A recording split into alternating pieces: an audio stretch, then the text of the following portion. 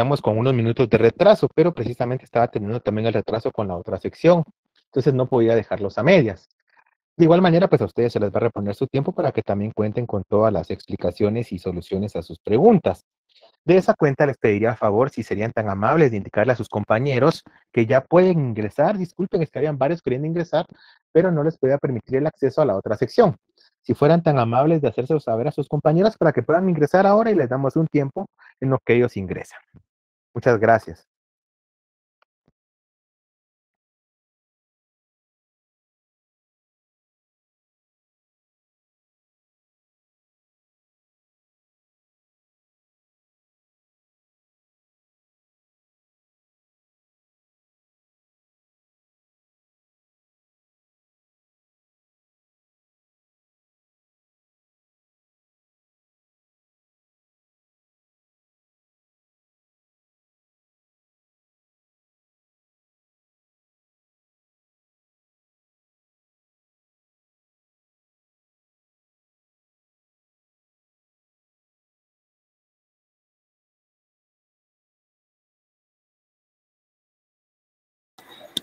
Buenas noches.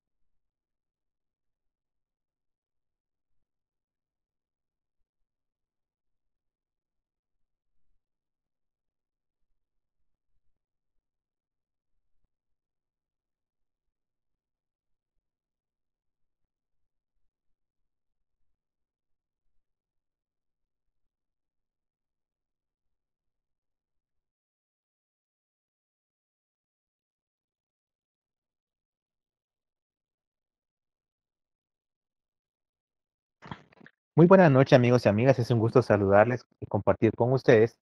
De antemano pido una disculpa en el caso de aquellas personas que están ingresando a las y cuarto y no pude permitirles el acceso, ya que eh, me encontraba también en repaso con la otra sección y de igual manera pues tenía que terminar con ellos el mismo. Pero de igual manera a ustedes se les va a reponer el tiempo y se van a hacer las aclaraciones y la solución a sus dudas según sea necesario para que ustedes pues tengan ya una mejor preparación para el examen parcial.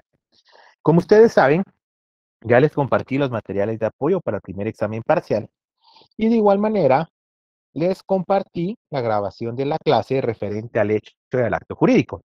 Yo les quisiera preguntar si ustedes ya pudieron ver esa clase, ya pudieron analizar el tema del, del hecho del acto jurídico en el material. Yo no, licenciado. En mi caso, aún no, licenciado.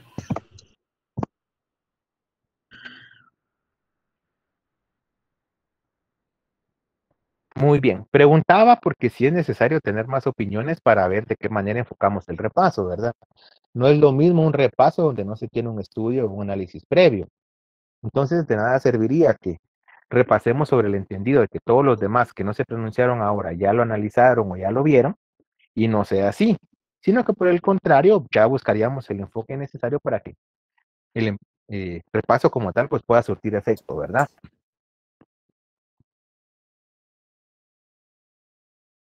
¿Los demás pudieron ver la clase o leer el material? disculpe, de mi parte tampoco, me disculpo de verdad. Muy bien, Paola. Yo tampoco, licenciado. Joshua dice que sí, Daniel dice no. Vean, yo creo que es la mayoría y no tengan pena. Yo, yo, comprendo que están, que están en exámenes, que hoy también fue un examen bastante arduo, ya que es la otra clase jurídica que llevan en este semestre. De esa cuenta, pues vamos a tratar entonces de enfocar eh, nuestro repaso de manera distinta. Les pediría que tengan a la mano nuestro material de apoyo. ¿sí? Ya que no es que vayamos a desarrollar la clase, pero sí hacer algunas aclaraciones en cada uno de los temas. El tema corresponde al hecho y al acto jurídico. Como ustedes saben, perdón, tanto el hecho y el acto jurídico es la forma en que se materializa el supuesto jurídico contenido en la norma. El supuesto jurídico contenido en la norma es esa previsión hipotética o esa posible conducta futura, esa hipótesis que la ley prevé en determinada conducta. ¿Sí? Una conducta que puede darse o no darse. Otro elemento importante es que ese supuesto jurídico que se materializa a través del hecho jurídico, del acto jurídico, puede consistir tanto en una acción como en una omisión. En el caso del hecho jurídico, el hecho jurídico, como ustedes tienen en el material, son aquellas situaciones provocadas por la acción de la naturaleza, o sea, fuera del dominio de las personas, o bien por la actividad de las personas. Ojo, que en el caso de esta actividad puede ser voluntaria o involuntaria. Pero lo importante del hecho jurídico es que las consecuencias jurídicas que se producen no son deseadas. ¿Sí? Tanto en el hecho jurídico como en el acto jurídico se van a producir consecuencias jurídicas. En ambos casos. La diferencia va a radicar que en el hecho jurídico se puede producir de dos formas. El hecho jurídico se produce por un fenómeno natural o bien por la voluntad de las personas. Pero en este caso, las personas pueden o no tener la voluntad de realizar la conducta establecida en la norma. Sin embargo, lo que sí no hay lugar a dudas es que no tienen la intención de producir las consecuencias jurídicas establecidas en la norma. Mientras que en el acto jurídico sucede lo contrario. La persona realiza la conducta regulada en la norma con la intención de producir las consecuencias jurídicas. Es decir, acá las consecuencias jurídicas son buscadas o perseguidas desde un inicio. Gerson había levantado la mano. Sí, buenas noches, licenciado. Eh, yo tenía una duda. Eh, usted ahí puso un ejemplo eh, de, un, de, un, perro, de un pitbull. Sí. Entonces, yo, yo tenía solo la, la inquietud si es, esto aplica para el hecho, hecho jurídico natural. No. No, un hecho jurídico natural, estamos hablando de fenómenos naturales, terremotos, tormentas, lluvias, etcétera. Solo sería hecho jurídico. Sí, no, o sea, ahorita vamos a empezar a hablar de la clasificación y tal vez ahí puedo aclarar su duda. Vean, el hecho jurídico se va a clasificar en dos. Hecho jurídico de la naturaleza y hecho jurídico de las personas. El hecho jurídico de la naturaleza va a ser producido por fenómenos naturales. ¿Sí? Y recordemos, no hay intención de producir esas consecuencias jurídicas. En el caso del hecho jurídico, en el caso del hecho jurídico de las personas, aquí no interviene un fenómeno natural. Aquí lo que interviene es la voluntad de la persona. Que en este caso pueda darse el hecho de que la persona tenga la voluntad o no de realizar la conducta regulada en la norma. De esa cuenta, para ponérselas, digamos, un poquito más en contexto, yo les daba algunos ejemplos. Un hecho jurídico de la naturaleza. ¿Sí? Imagínense que ustedes son agricultores. Tienen una finca donde siembran café. Si en algún momento hubiera una tormenta, un huracán, una inundación donde ustedes perdieran eh, sus cultivos, obviamente ahí hay consecuencias jurídicas, ¿verdad? Porque imagínense que ustedes adquirieron un préstamo para poder sembrar. Hay consecuencias jurídicas porque tienen que pagar el préstamo. Sin embargo, no tienen cómo hacerlo. O lo mismo sucedería en el caso de un huracán y que se pierda la siembra. Sí, es aquí donde surge la figura de los seguros, ¿verdad? Nosotros podemos asegurar nuestro cultivo para que en el caso de que suceda una de estas circunstancias, el banco nos pague a nosotros el equivalente o lo acordado por la cosecha. Ahí estamos ante un fenómeno natural. Lo mismo sucedería en el terremoto que hubo en San Marcos hace más o menos unos 10 años. Obviamente, con un terremoto hay daños a las personas, hay daños a los vehículos, hay daños a las casas. Sí, si la casa está asegurada, damos paso a la figura del seguro. Lo mismo sucede para los daños que tengan las personas. Sí, ya sea que sea seguro, que sea a través del IX, ¿verdad? Pero en este caso, damos paso a esas instituciones jurídicas como la previsión social, la seguridad social o bien los seguros. En el peor de los casos, que producto del terremoto fallezca un familiar. Damos paso al derecho de sucesión, ¿verdad? Ya tendríamos que ver si hay testamento, si no hay testamento, o bien cuál va a ser la forma para transmitir los bienes. Es decir, un fenómeno de la naturaleza produce consecuencias jurídicas. En el segundo caso en que se puede producir un hecho jurídico, un hecho jurídico de las personas. En el caso de que sea voluntario, en el caso de que sea voluntario, yo les ponía el ejemplo de un jardinero. Un jardinero que trabaja en un condominio. El jardinero se encuentra cortando las ramas que se encontraban enredadas con los cables de servicio telefónico. Da la hora de salida y el jardinero, con tal de irse corriendo para que no le agarre la tarde, deja una rama a medio cortar. Por la noche, dos vecinas que generalmente salen a caminar se encontraban dando su ronda cuando por fuertes vientos la rama que dejó a medio cortar se quiebra por completo, cae sobre una de ellas y fallece. Ese es un hecho jurídico de las personas voluntario. ¿Por qué? Porque el jardinero sí tenía la intención de cortar la rama. ¿Sí? Sin embargo, no tenía la intención de matar a la persona. Si se dan cuenta, él tenía la intención de realizar la conducta prevista en la norma, pero no de producir sus consecuencias. Ese es un hecho jurídico de las personas y es voluntario. En el caso de uno involuntario, que es lo que preguntaba Gerson, yo les ponía el ejemplo de un pitbull. ¿Sí? Si yo tengo como mascota un pitbull y en eso yo me descuido, dejo la puerta abierta y lo primero que hace es salir a morder al vecino, ojo, yo no tenía la intención de que mi perro mordiera al vecino. Es decir, se produjo sin que la persona tuviera la voluntad de realizar la conducta. Sin embargo, como es mi perro, yo soy responsable por los daños o perjuicios que mi mascota ocasiona. ¿Sí? O sea, en este caso, no hay voluntad para que se realice la conducta, por eso es involuntario, y tampoco hay voluntad para producir consecuencias jurídicas. Sin embargo, las consecuencias jurídicas se producen. Yo tengo que llevar al médico a la persona, inclusive yo tengo que ir a tribunales.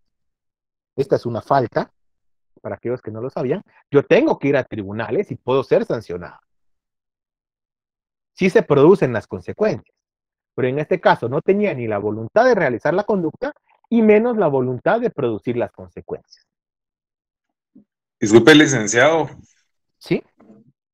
Póngale en el caso de, un ganado, de una res que esté en la carretera y a una persona tiene el accidente con eso y fallece la persona, ¿hay qué consecuencia jurídica procede ahí?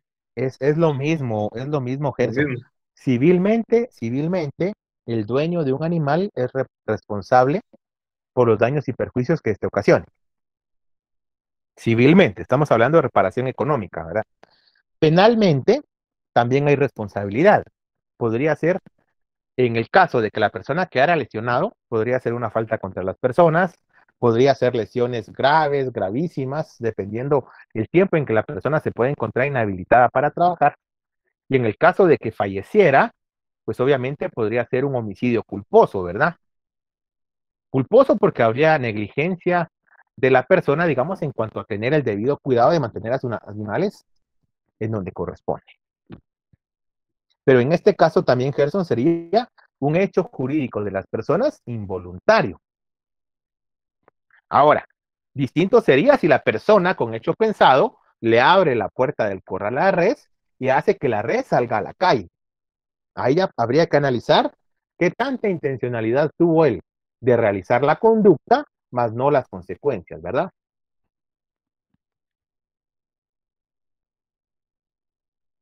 Gracias. ¿Estamos ahí? Sí, gracias. Para servirles. Vean entonces, en el acto jurídico, ya dijimos, yo realizo, o sea, tengo la voluntad de realizar la conducta regulada en la norma, entiéndase el supuesto jurídico,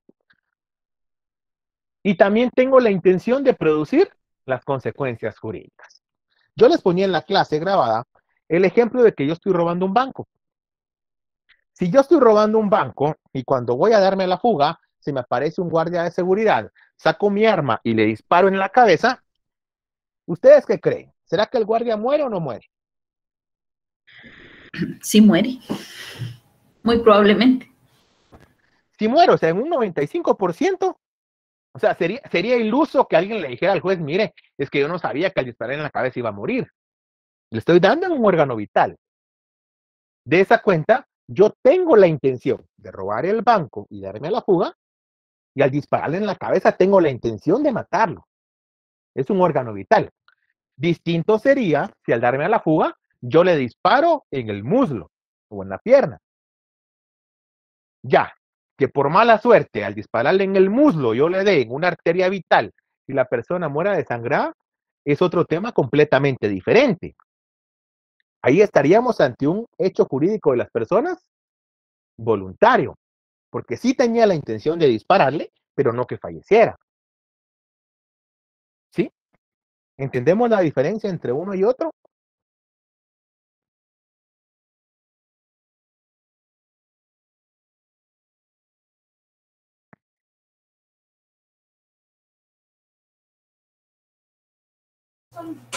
Sí, Lick, gracias. Sí, licenciada. Muy bien. Esa es la diferencia entre hecho y entre acto jurídico. Un elemento importante que también tenemos que considerar al hablar del acto jurídico es que para que exista acto jurídico deben concurrir al mismo tiempo o al mismo momento cuatro elementos. El consentimiento de las partes, el objeto, el hecho o la causa y las solemnidades. En el caso del consentimiento, que ya dijimos que puede manifestarse esa voluntad en forma tácita o en forma expresa. Forma tácita firmando, ¿verdad? Cuando nosotros firmamos algo, lo estamos aceptando expresamente. Por eso es que cuando ustedes usan su tarjeta de crédito o débito, les pasan un famoso voucher. Ese voucher es un título de crédito mercantil que se le denomina pagaré. Y cuando ustedes no firman, por eso es que a ustedes solo le dan copia, el que queda firmado queda en empresa donde estamos comprando, ¿verdad? Esa firma que ustedes ponen equivalen a que ustedes están obligando a pagar esa cantidad a la entidad. ¿Sí? Ese es eh, el consentimiento expreso. El consentimiento tácito, prácticamente aplicamos el dicho coloquial que dice el que calla otorga, ¿verdad? Nosotros no manifestamos oposición en contrario. En el caso del objeto, este puede ser material o inmaterial. Y de la misma manera, el objeto debe existir, tiene que poderse precisar su naturaleza y tiene que ser comerciable. Cuando nos referimos a que debe existir, es que efectivamente se pueda celebrar sobre algo que exista, ¿sí? Yo no les podría celebrar con ustedes un contrato de compraventa donde les ofrezca venderle eh, pastillas para la inmortalidad. ¿Sí? Eso es algo que no existe.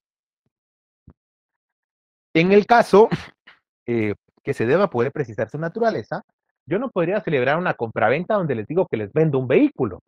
No, yo tendría que indicar que les vendo un vehículo, placa tal, eh, modelo tal, que esté inscrito en la SAT, eh, a tal nombre, etcétera, ¿verdad?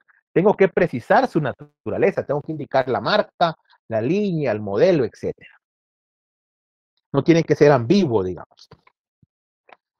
Y en el caso de que sea comerciable, es que se encuentre dentro del comercio de los hombres. Es decir, que no sea contrario a la ley, a las buenas costumbres, eh, al orden público o al derecho. En el caso del hecho o la causa, nos estamos refiriendo al motivo por el cual se está realizando el acto jurídico. De esa, esa cuenta, el acto jurídico tiene que ser posible de realizar y tiene que ser lícito. Yo no podría venir, por ejemplo, y decirle a Heidi Anabel que yo le voy a pagar un millón de quexales si ella da 10 vueltas al campus universitario central en un minuto. Obviamente es algo imposible. Otro ejemplo, en el caso de que el hecho o la causa sean ilícitas, es que yo no puedo celebrar un contrato de compraventa de marihuana. ¿Qué pasaría si yo celebro un contrato de compraventa de marihuana?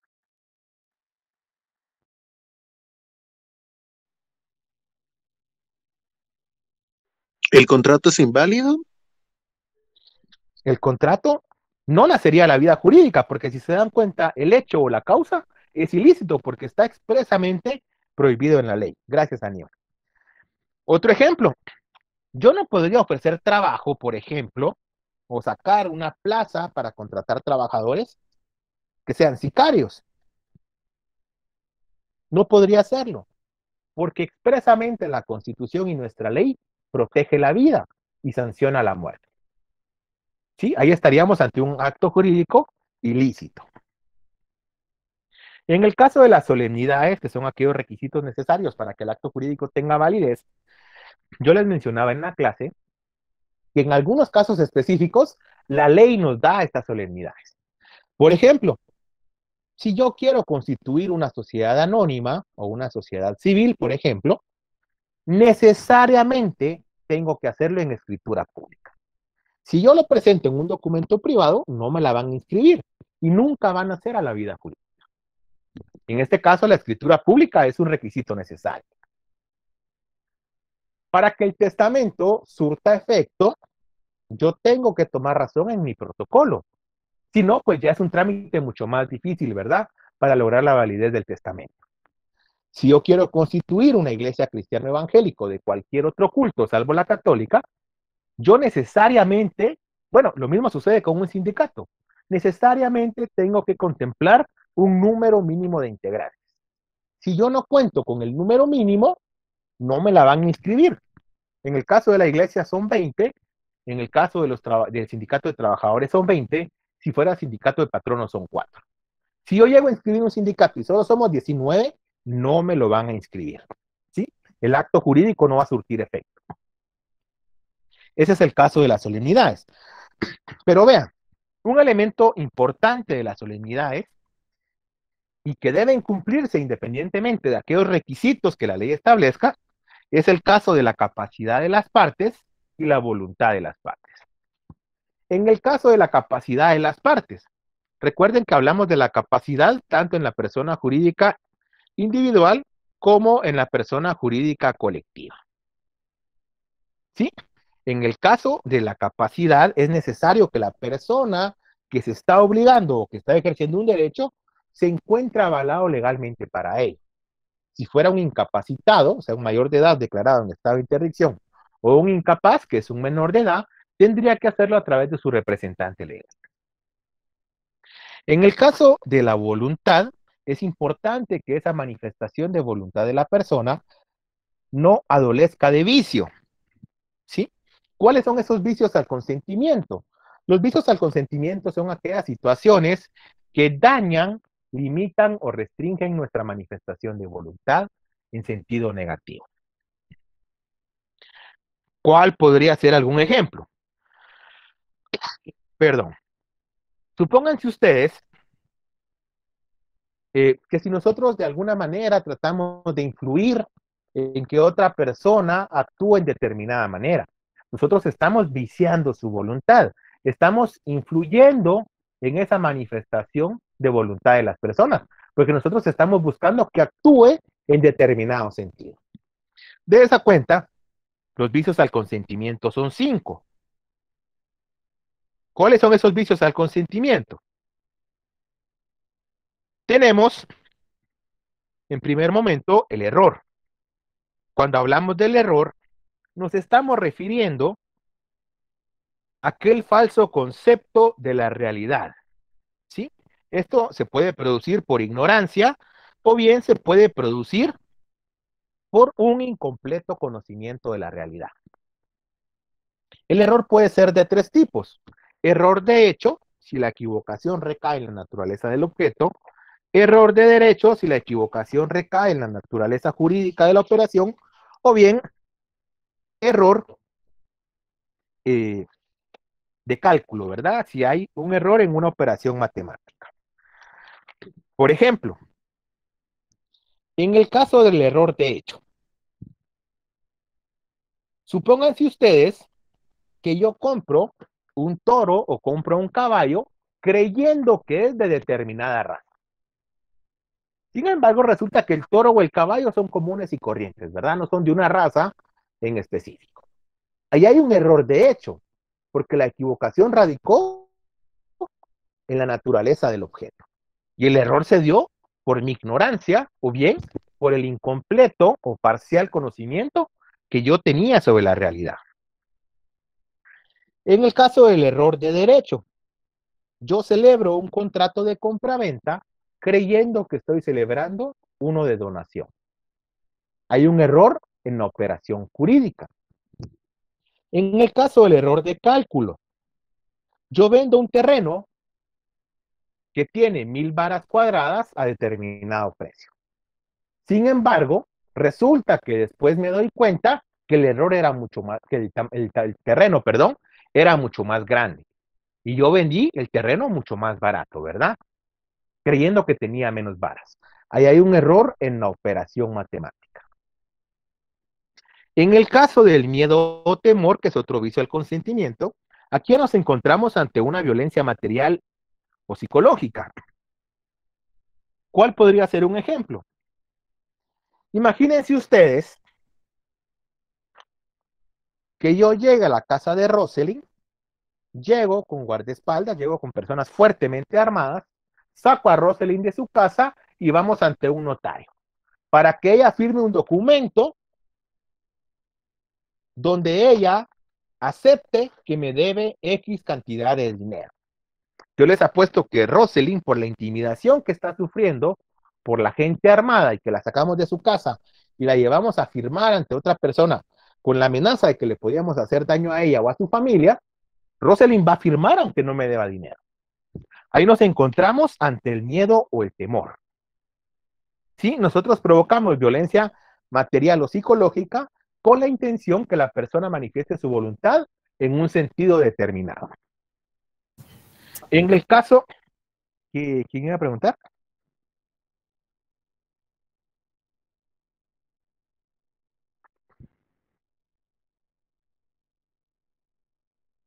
¿Alguien iba a preguntar? Eh, no, perdón, Lick, se me marcó acá. No tengas pena, Jeremy. Vean, en el caso del dolo, el dolo también es un vicio al consentimiento, pero aquí una de las partes utiliza toda su gestión o artificio para inducir a error o mantener en él alguna de las partes. Es decir, yo tengo la intención de engañar a la otra persona. ¿Sí? ¿Cuál podría ser un ejemplo de dolo? Imagínense que yo quiera vender mi vehículo, pero antes de venderlo, yo lo llevo con una persona para que baje eh, el número de millas o kilómetros al carro.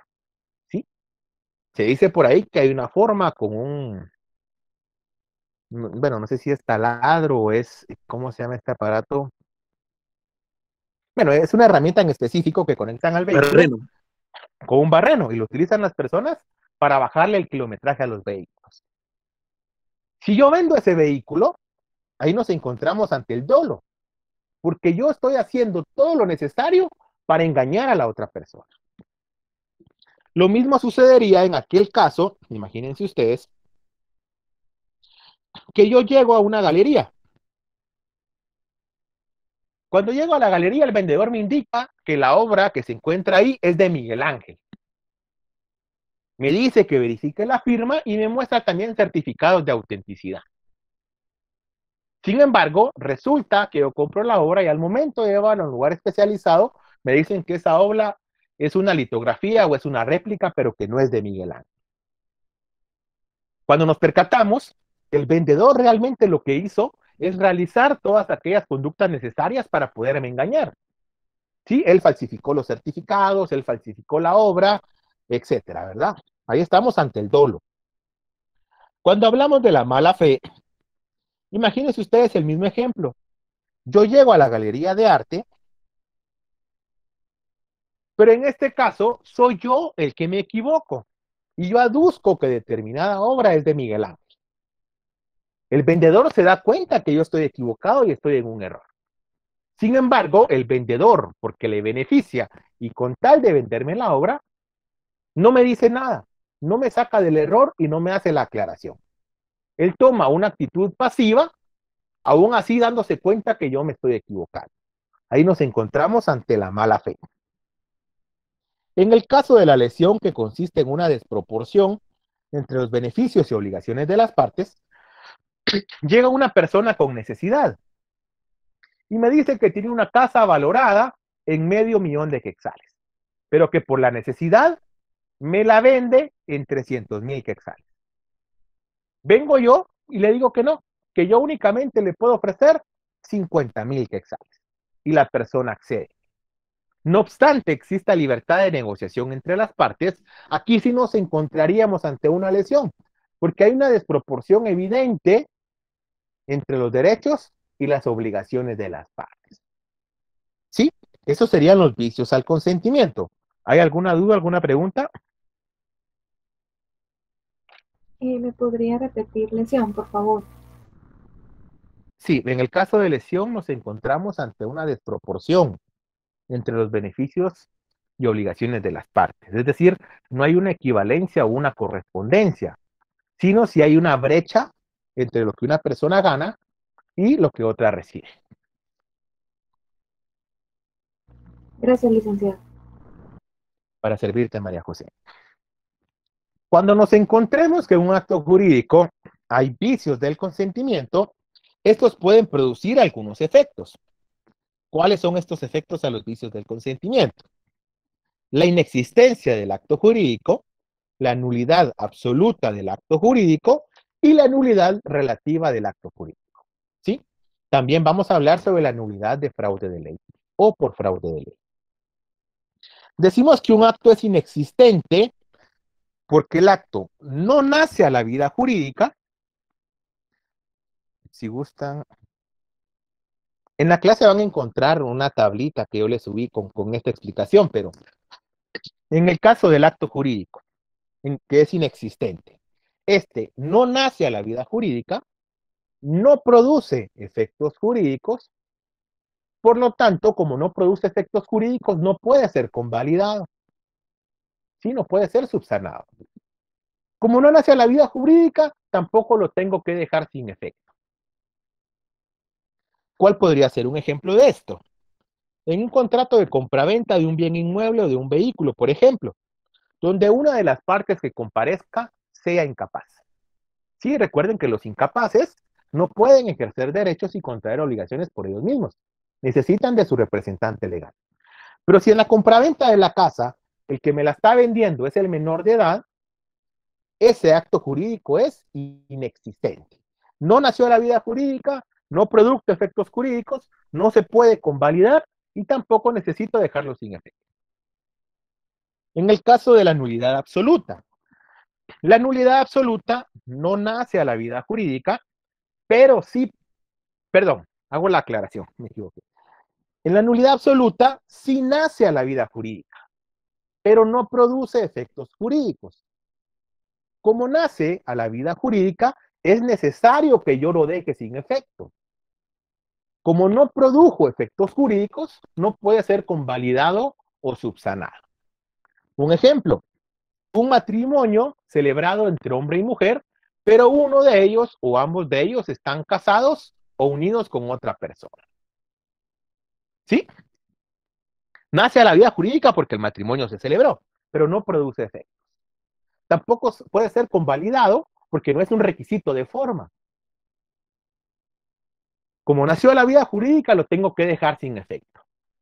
Aquí estamos ante una nulidad absoluta, ya que como ustedes saben, un requisito indispensable para que las personas contraigan matrimonio es que ambos se encuentren en libertad de estados o bien que sean solteros. En el caso de la nulidad relativa o anulabilidad, aquí lo omitimos, aquí omitimos un requisito de validez. La nulidad relativa sí nace a la vida jurídica, sí produce consecuencias jurídicas por lo tanto, como sí produce consecuencias jurídicas, sí puede ser convalidado, subsanado o enmendado.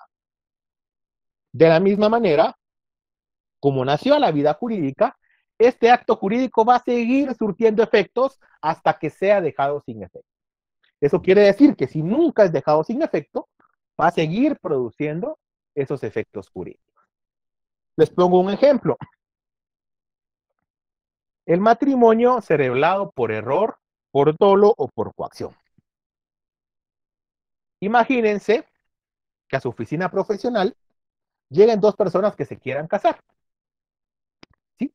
Y nosotros desconocemos que la dama se encuentra amenazada. De que si no se casa con el caballero, sus papás van a morir. Y obviamente, pues la dama va a aceptar y no va a decir nada, ¿verdad? En ese caso, ese matrimonio tendría que ser anulado. Ese matrimonio es nulo relativamente. Nació a la vida jurídica y produjo efectos jurídicos. Como nació a la vida jurídica, va a seguir vigente hasta que sea dejado sin efecto. Ojo, pero cuando un acto jurídico es nulo relativamente o es anulable, este sí puede ser enmendado o convalidado. Posteriormente, la dama puede aceptar y manifestar su voluntad libre de coacción de que ella acepta ese matrimonio y permanece en él. ¿Sí? Estas serían las diferencias entre los efectos que producen los actos jurídicos. Ahora bien, cuando hablamos de la nulidad por fraude de ley, realmente lo que estamos haciendo es encubrir una situación jurídica con otra. Es decir, para eludir nosotros alguna obligación, jurídicamente hablando, le damos una forma distinta al acto jurídico.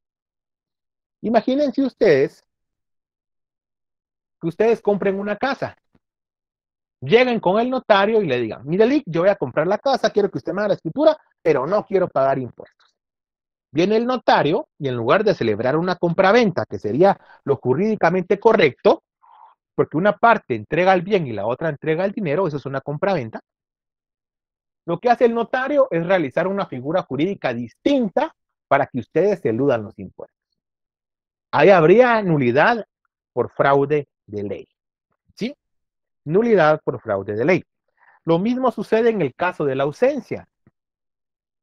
Si un cónyuge declara ausente y muerto presunto a su esposo, a sabiendas que su esposo está vivo, pero está en otro país, ella contrae matrimonio, ahí nos encontramos ante nulidad por fraude de ley.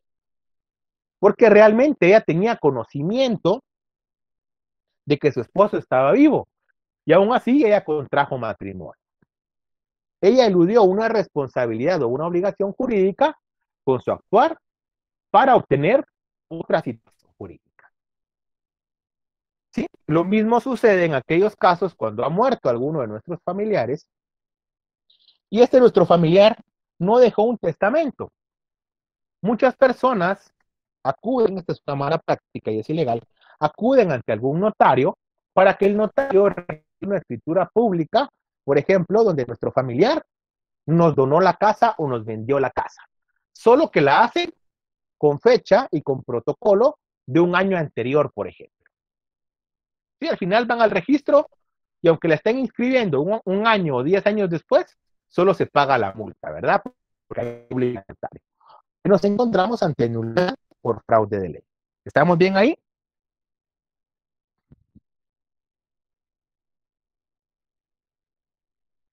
Sí, licenciado. Sí, licenciado, gracias. ¿Todos están bien? Sí. Sí, gracias. licenciado. Sí, licenciado, gracias. Licenciado, una Muy bien. Sí, claro. En el caso de la nuli- nulidad de, por fraude de ley, esta, eh, o sea, sí nace a la, a la vida eh, jurídica, pero para Si que, nace la vida jurídica, sí pero para que produce efectos, ajá, no puede ser convalidado, pero sí tiene que ser anulado. Y esa anulación la tiene que solicitar las partes involucradas. La, par- la parte afectada. sí. Obviamente, tanto para la, en teoría, para la inexistencia no debería ser así, pero muchos jueces lo requieren, pero para la nulidad absoluta eh, no hay un plazo. Sí, la ley no regula un plazo. En el caso de la nulidad relativa, que supongamos que hay algún vicio al consentimiento, la ley sí regula el plazo según el vicio al consentimiento de que se trate.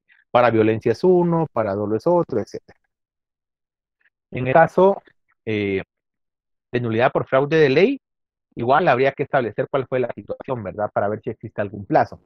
Pero en todos los casos tenemos que seguir un proceso judicial. Muchas gracias, licenciado.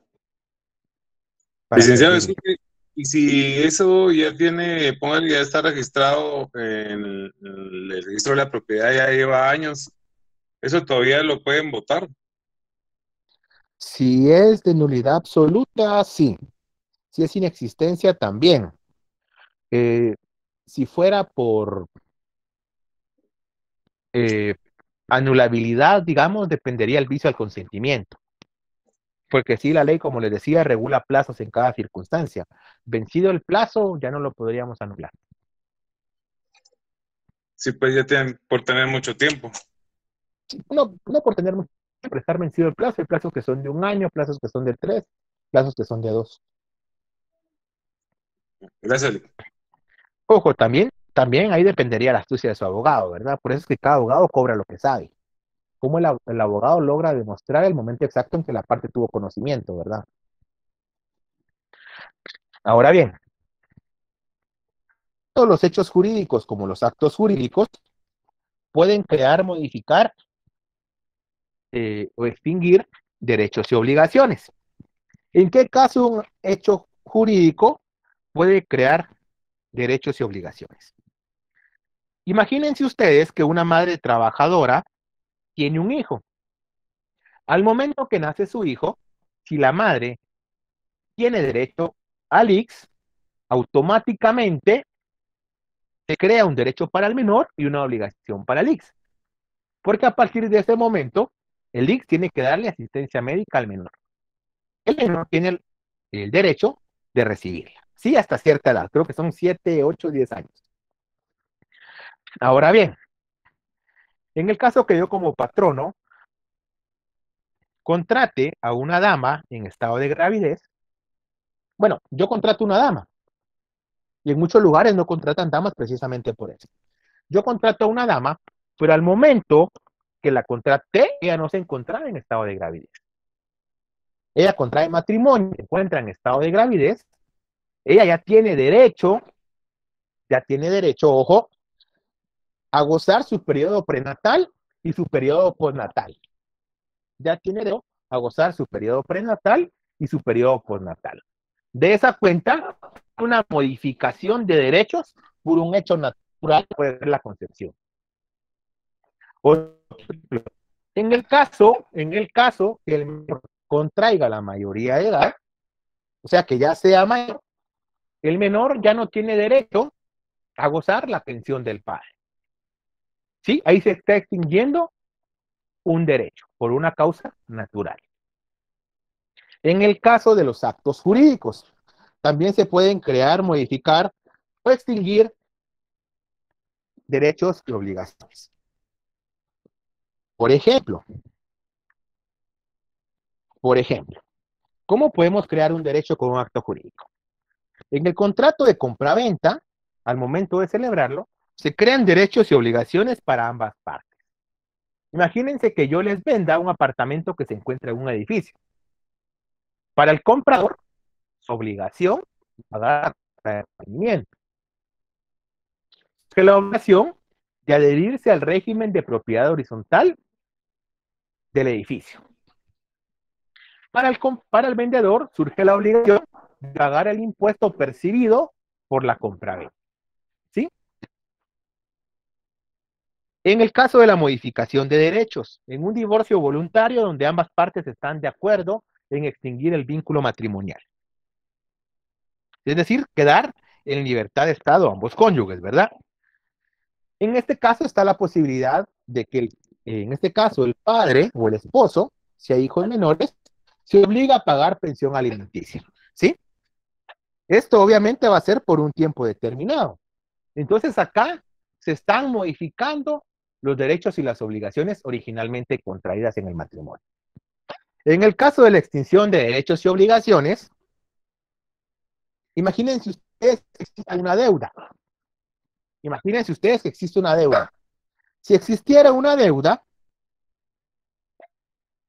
y yo le perdonara, eh, a esto se le conoce legalmente como condonación. Condonación es el perdón que se hace de una obligación. Si yo le condonara a la otra parte la deuda que tiene con mi persona, automáticamente para ella se extingue la obligación, ¿verdad?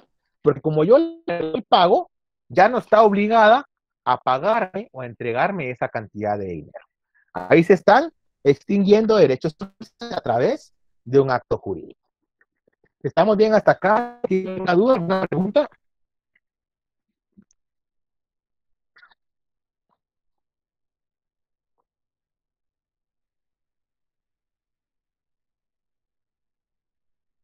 No vamos a entrar a ver temas de fondo o Svetlana porque no, no ese es el objeto del repaso.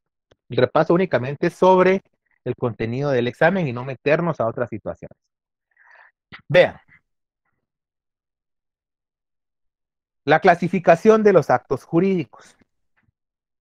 En el caso de la clasificación de los actos jurídicos, nosotros encontramos bilaterales, a título gratuito, a título oneroso, conmutativos o aleatorios, entre vivos o por causa de muerte, positivos o negativos, los puros o simples y aquellos que están sujetos a una modalidad, también los lícitos e ilícitos, los actos de disposición o de obligación, los actos jurídicos formales y no formales, y los atributivos y. Vamos a ver ellos para que los podamos comprender de mejor manera. En el caso de los unilaterales y bilaterales, son unilaterales si se da una sola manifestación de voluntad. Que ojo, ojo, estamos hablando de una manifestación de voluntad. No es lo mismo que solo comparezca una persona. ¿Sí? Puede haber una manifestación de voluntad donde comparezcan varias personas. Por eso hago la aclaración. Vean, un acto unilateral, el mandato. En el mandato solo se necesita que comparezca la persona que lo está otorgando. No es necesaria la comparecencia de la persona a quien le estamos delegando nuestra representación. Ese es un acto unilateral. Lo mismo sucede en el testamento. El testamento únicamente comparece la persona que está efectuando el acto de última voluntad y disponiendo de sus bienes, no tienen por qué comparecer los legatarios o los herederos. Un acto bilateral, la compraventa. En la compraventa necesariamente tienen que comparecer las dos partes, ¿verdad? Comprador y vendedor. En el caso de los actos jurídicos a título gratuito, aquí pues no se percibe una ventaja económica, ¿verdad? A título gratuito podría ir el mandato, porque comúnmente y generalmente la persona que representa a otra por un mandato no recibe una retribución, ¿sí? Salvo que expresamente haya quedado consignado. Pero la ley no lo establece como obligatorio. De esa cuenta, esto podría ser un ejemplo. Otro ejemplo podría ser donación entre vivos. Si un padre le dona a su hijo una casa, el hijo no está pagando por la casa. Ya, si estuviera pagando sería una compraventa, sería una transacción, ¿verdad? Pero en este caso, la donación únicamente le está cediendo la casa al hijo. El hijo pague una contraprestación. A título oneroso, la misma compraventa. Yo estoy vendiendo una casa y en contraprestación voy a recibir una cantidad X de dinero. En el caso del arrendamiento, yo voy a arrendar mi vehículo o mi casa a cambio de una renta. ¿Sí? En el mutuo, yo voy a prestar dinero con la finalidad de recibir ese dinero más los intereses. Por ejemplo, los actos jurídicos entre vivos y por causa de muerte. Los entre vivos surten efecto durante la vida de las personas y por causa de muerte, estos se realizan durante la vida de las personas, pero surten efectos después de su muerte. Entre vivos podría ser una donación entre vivos, ¿verdad? Yo le estoy transmitiendo durante mi vida la casa a mi hijo. También podría ser un arrendamiento. ¿Sí? En el caso eh, de los títulos por causa de muerte. ¿Cuál podría ser un, eh, acto jurídico por causa de muerte? El testamento. El testamento, obviamente, la persona que está disponiendo de sus bienes tiene que estar viva, pero va a surtir efectos hasta después de su muerte. Imagínense que el testamento nosotros lo hacemos en el año 2021, pero que fuéramos a fallecer en el año 2050. Eso quiere decir que aunque hayamos hecho el testamento hoy, va a surtir efectos hasta el 2050, que es cuando fallezcamos. Andy. Lick, buenas noches. Fíjese con una molestia. No sé si soy yo o mi internet, pero yo le escucho así bien trabado. O sea, lo que dice como que se le traba. No sé si solo soy yo. Sí, es por rato, licenciado, disculpe. ¿Y los demás? Yo también estoy teniendo ese problema, licenciado. Buenas Igual, licenciado. Yo sí lo escucho bien, Lick. Yo lo Igual es yo traba. también hay, hay partes en las que se escucha como que Es por ratitos que se le escucha cortado. Vean, se escucha así desde hace rato, pero hasta ahorita me lo están diciendo.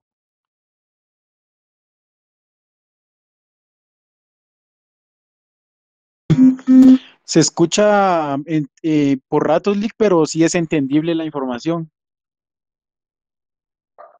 Muy bien, si gustan, voy a conectarme a otro modem que tengo por acá, que es inalámbrico. minuto. Vamos a ver si con eso mejora la, la señal.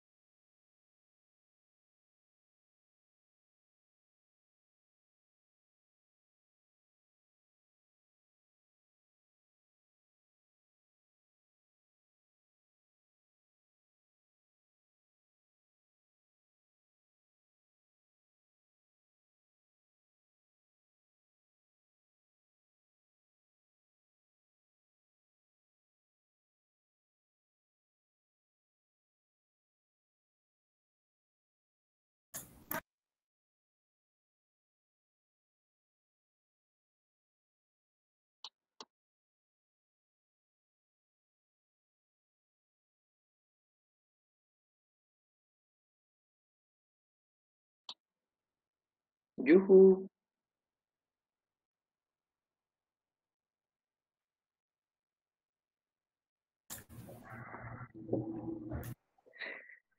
Yuhu. Está aprovechando la hora para salirse, ¿va? ¿Qué pasa, Nelson? ¿Qué pasó? ¿Qué pasó, Araceli? ¿Cómo estás? Yo bien, gracias. Nelson quitó la moda. ¿Para qué lo interrumpieron, pues, si estaba bonita la clase? Se enojó y se fue.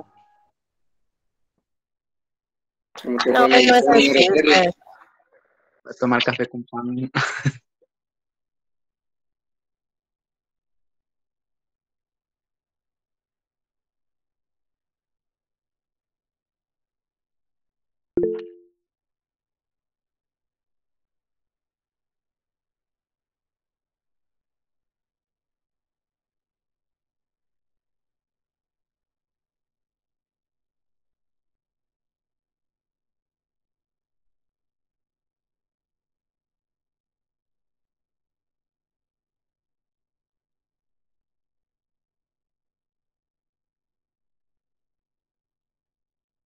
Compañeros, ¿ahora me escuchan? Sí, licenciado. Sí, licenciado. Los que decían no escuchar bien. Sí se escucha bien. Sí, licenciado. Vean, estábamos entonces en un ejemplo entre vivos y por causa de muerte. Entre vivos yo les ponía el ejemplo de la compra-venta, ¿verdad? Que necesariamente tanto quien compra como quien vende eh, tienen que estar con vida. En el caso eh, de por causa de muerte, yo les ponía el ejemplo de la donación por causa de muerte o bien el testamento, porque ambos se otorgan en vida, pero van a surtir efectos para después del fallecimiento de la persona. Tenemos también los actos puros o simples y los sujetos a modalidad. En el caso de los puros o simples, estos no están sujetos a ninguna condición, sino van a surtir efecto de inmediato. Yo voy a un banco y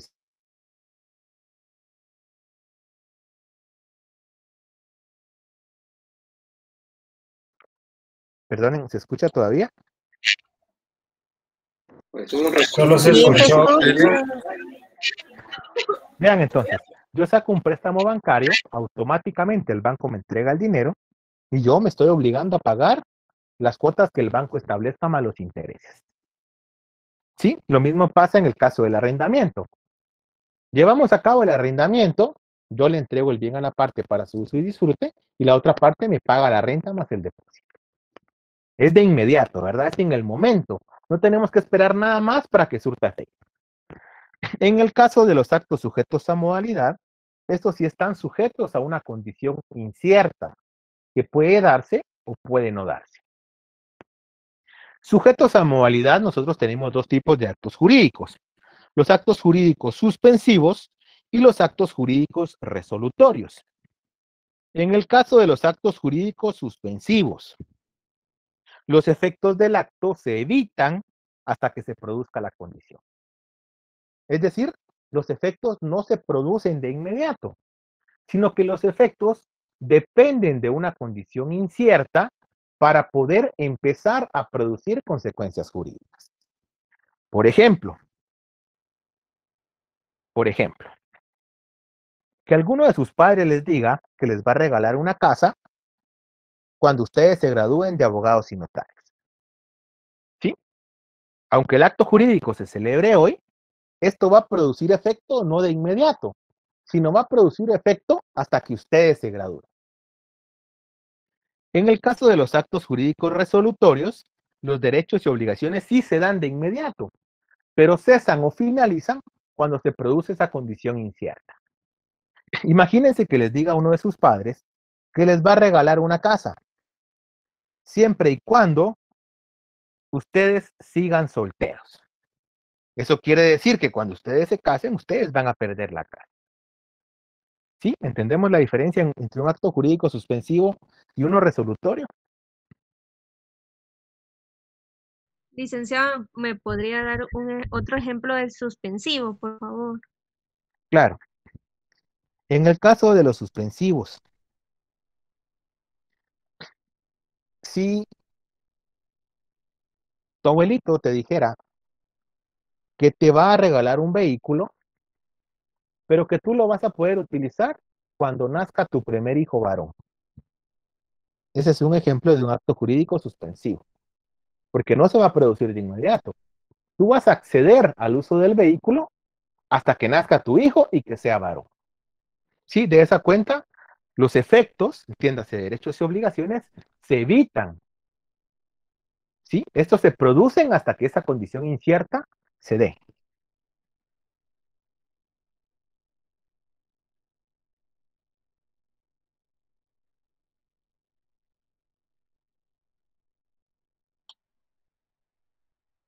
¿Alguien más? Licenciado, tengo una pequeña duda. Muchas buenas noches. Sí. Mira que eh, yo estoy algo ah, similar, un caso similar, porque em, me dejaron herencia, pero en el testamento está como con un candado que dice que a la hora que puedo hacer uso de mi herencia únicamente cuando me gradué de la universidad. En algún dado caso no me graduara, pero sigo o me cambio de carrera o algo así, ¿podría afectar en eso? Hasta que te gradúes. O sea, en, en tu caso no mencionaste que dijera una carrera en específico. Si te tardas Sí, 10 no, años para graduarte, a los 10 años puedes acceder a la herencia. Te tardas 30 a los 30 Ah, ok, perfecto. Muchas gracias. para servirte. ¿Alguien más? Vean, vamos a dar también un ejemplo de actos atributivos y actos no atributivos. En el caso de los actos atributivos, estos pretenden aumentar el patrimonio de las personas o partes que intervienen en la relación. Los no atributivos no buscan eh, la modificación del patrimonio de las personas. Un acto atributivo. ¿Sí? Ustedes prestan dinero y le dicen a la persona que le prestan que además de pagarles el capital que les están entregando, les tienen que pagar el 15% de interés anual. Ustedes están obteniendo su dinero más esa ventaja económica. Su patrimonio se va a ver aumentado. ¿Sí? Si ustedes tienen una casa y compraran un apartamento, ustedes lo pueden alquilar. Al arrendarlo, ustedes por una casa que tenían en desuso están obteniendo una ventaja económica, están aumentando su patrimonio, porque la casa sigue siendo suya. Pero además de eso obtienen la renta eh, por el alquiler de la misma. Ahora bien, si yo lo quisiera fuera comprar una casa valorada en un millón de quetzales, mi patrimonio no sufre aumento. Yo sigo teniendo el millón de quetzales, solo que ya no lo tengo en efectivo. En este caso lo tengo en especie. ¿Sí? El mandato también podría ser otro ejemplo, porque cuando el mandato por regla general no es remunerado, una parte le otorga a otra que realice actos en su representación y la otra parte los efectúa, pero el patrimonio de ambas no tiene algún beneficio o algún detrimento. ¿Estamos bien ahí? ¿Alguien tiene alguna duda? ¿Alguna pregunta?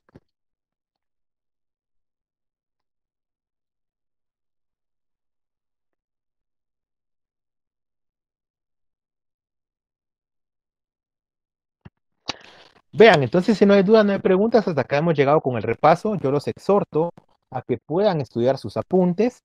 Los invito también a que tanto sus apuntes eh, como con el material que les compartí, pues lo analicen, lo estudien de igual manera, si surge alguna duda, ustedes me puedan escribir por WhatsApp y con mucho gusto yo les puedo solventar la duda. De igual manera, eh, yo les subí a la plataforma de Classroom, ya les mandé cuál es el código para ella, para que ustedes puedan acceder a la clase grabada de hecho y acto jurídico. ¿Sí? Ahí se explica ya con más detenimiento cada uno de estos temas. Les reitero que el examen se va a realizar en la plataforma de Classroom. Sí, no vamos a utilizar Moodle porque han habido algunos inconvenientes. De esa cuenta, yo a la plataforma de Classroom, al código que ustedes ya tienen, que fue el mismo en el que realizaron eh, el laboratorio, les voy a subir el enlace para poder realizar el examen. El examen va a dar inicio a las 6.30 de la tarde. No vamos a iniciar a las 6 porque yo sé que muchos salen de su trabajo a las 5, ¿verdad? Entonces sería prácticamente una carrera contra tiempo y estrés el hecho de que lleguen a las 6 a su casa.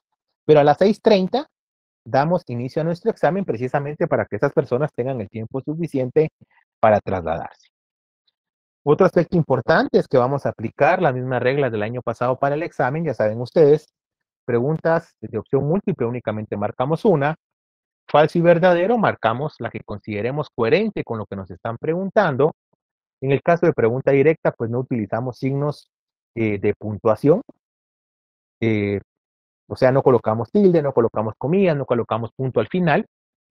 De la misma manera, no es necesario colocar fundamento legal, salvo que la pregunta lo requiera expresamente. Tampoco, por favor, eh, vamos a consignar artículos del idioma al inicio de nuestras respuestas. Es decir, no vamos a responder el derecho, la constitución política de la República de Guatemala, sino solo derecho, constitución política de la República de Guatemala y así, ¿verdad? Otro aspecto importante es eh, ver tanto en el material como lo hemos estudiado, eh, consignar la, respuesta completa, ¿verdad? Si la respuesta es supuesto jurídico, colocamos supuesto jurídico. ¿Sí? No lo co- colocamos ni en plural, ni tampoco lo colocamos incompleto porque nuestra respuesta puede estar eh, invalidada en este caso.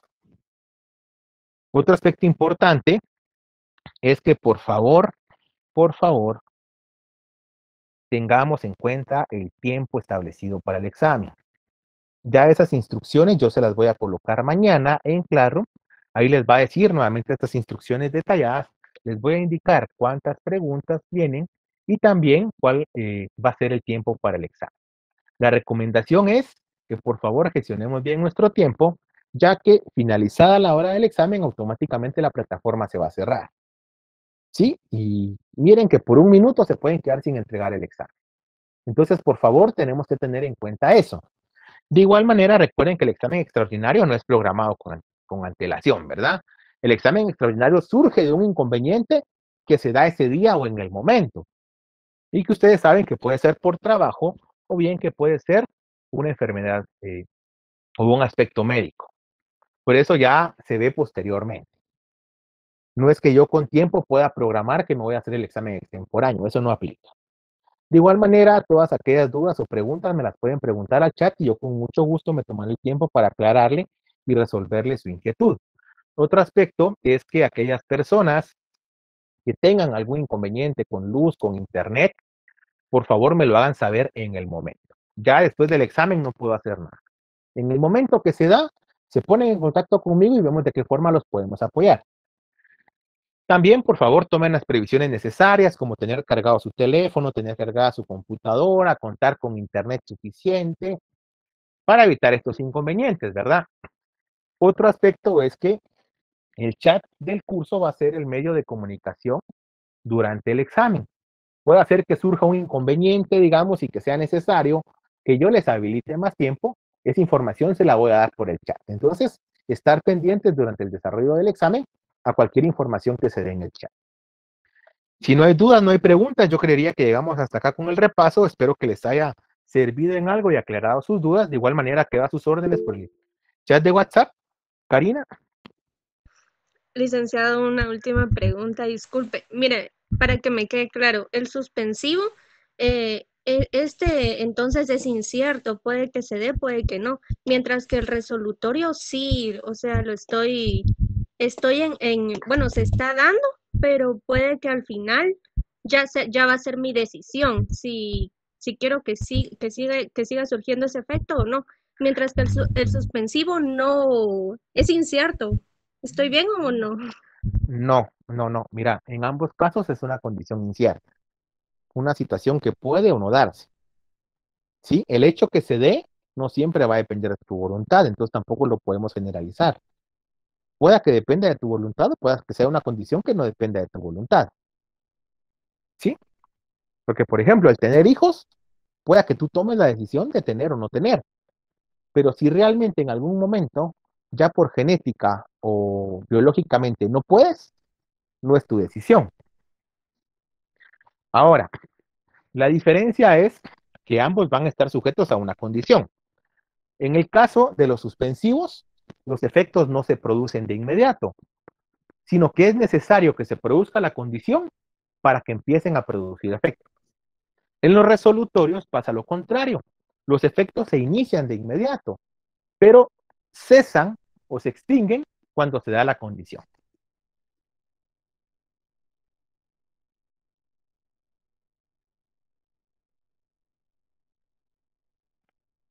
¿Estamos ahí, Karina?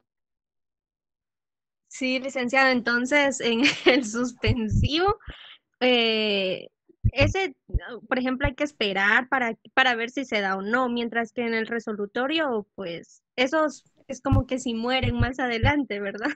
No, en ambos casos estás esperando a que se dé o no la condición. Solo que en uno se espera para que inicien los efectos y en otro se espera para que finalicen.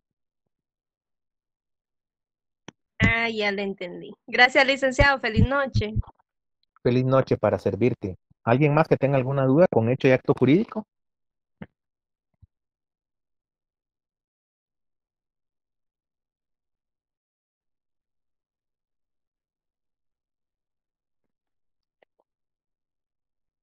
Bueno, amigos, entonces si no hay dudas, no hay preguntas, imagino que conforme vayan avanzando en el estudio, van a ir surgiendo. Entonces los invito a que me escriban para que se las pueda solventar, ya que no tendríamos ya otra sesión u otra clase antes del examen. De esa cuenta, únicamente les repito, el examen inicia a las 6.30 y el día de mañana, ya en la mera tarde, van a encontrar las instrucciones e información del mismo en claro. ¿Sí? Les deseo una feliz noche, un bendecido estudio y cualquier cosa queda a sus órdenes. Pasen buena noche. Gracias, licenciado. Gracias, Lick. Feliz descanso. noche, licenciado. Buenas noches, licenciado. Gracias. Gracias, Lick. Feliz noche.